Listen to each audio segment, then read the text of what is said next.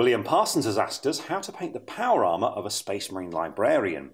Now, no matter the chapter you're collecting, this power armour is always dark blue, but for the Primaris Librarian miniature, I've chosen to undercoat the miniature using Zandri Dust spray. Now, this is because there's so many robes on him, and it's an ideal starting colour for those details. and They cover such a large part of the miniature. But for the power armour itself, we need to start out with a base coat of Kantor blue, followed by a shade of Nuln Oil in the recesses. After that, we're going to highlight using Altdorf Guard Blue, followed by a very fine highlight of Calgar Blue. But first of all, we need Kantor Blue, and I'm going to be applying this mostly with a medium base brush, but it's a good idea to have a small layer brush on hand for this, because you will need it for some of the trickier to reach parts on the armour. But as always, be sure to thin your paint down on your palette with a little bit of water so it's nice and smooth. And once you've done so, all you've got to do is start picking out the blue power armour. So there we go. So what I'm looking to do here is just be really careful around that Zandri dust, because it's a great starting point for all those robes later on. But can see as you start painting the tin, you just need to be careful, and you will need to apply two thin coats as well.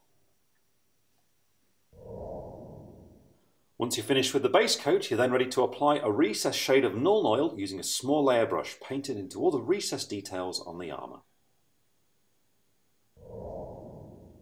With the shading complete, we're now ready to highlight the armour, and for this, first of all, we need Altdorf Guard Blue, applied as an edge highlight using a small layer brush. And all you need to do here is run the colour along all the sharpest edges of the armour panels.